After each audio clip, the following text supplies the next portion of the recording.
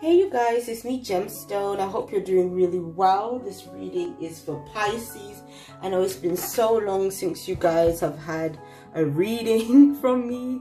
So um, somebody left a comment under one of the videos saying that they missed me and I was like, you know what, it's been so long. Let me just try and get something out there, you know, for you guys. And, you know, plus I do really like reading. It's just been a case of having the time and to be able to set up and all that kind of stuff.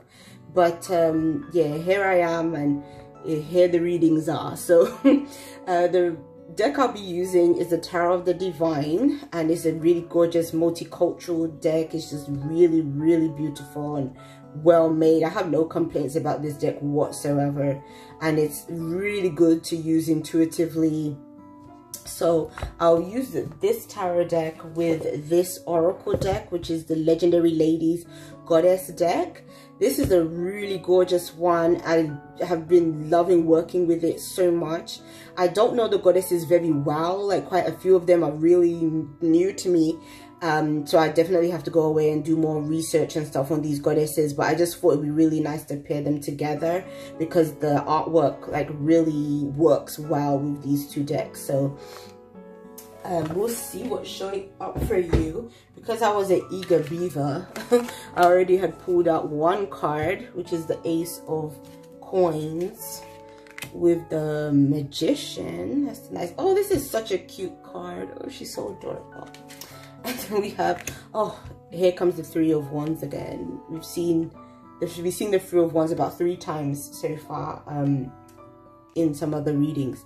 So a lot of people have this Three of Wands energy. And again, I'm like, it's, it's just like what I said to Scorpio. I think it's because of this full moon in Leo that we're um, heading towards. So I feel like that's bringing a lot of this kind of fiery energy that is, we're seeing even in the water signs. So it's interesting. Well, it, well, to be honest, that makes sense because of, you know, for Pisces, you're, you know, you, you have a connection with the moon as well. And so, um, it's uh it's, it's kind of no surprise actually uh, that you you have a fiery kind of element going on as well with this full moon but the ace of the ace of coins is about your money situation and the magician. And so to me it's like you guys are manifesting stability in your life right now. So you guys are thinking a lot about your future in terms of your future finances. You might be thinking a lot about your savings about you know you, you, your pensions, all these kind of things, like things um, that can create a stable living situation for you. So it could be a home situation where you, you want stability in your home life or where you live. So there's a lot of that going on. And I feel like you are making all the efforts to make more money as well or trying to bring in more. If you are, you know, uh, inclined to do magic and and to use things like the law of attraction and you know all this kind of stuff you might be using those things to be able to bring money to you as well like maybe some spiritual um things to be able to bring more money your way. But i feel like um then when the magician shows up is saying that you know the right things to do so you're you're able to really be in control of the situation and to really bring things to you that are going to be of really great value uh, so that's really good. And it's very new because, you know, Magician is a one card and Ace is also the one, one as well out of the, um, the coins suit. So there's a lot of new things you can manifest uh, at this time also. So if you're looking for a new job, for instance, if you're looking for um, a new uh, income stream, you know, to create something that can bring you more money, it's, it's a really good time to be doing those things, to be actively working towards those things because you're moving, you know, up, you're, you're moving into a new sphere of things. And a lot of people seem to be actually. So a lot of people have this drive and i think the reason why it is as well is because with all the stuff that's been happening with the pandemic and stuff you know as well as a lot of businesses have been affected negatively some have been really affected in, in positive ways as well.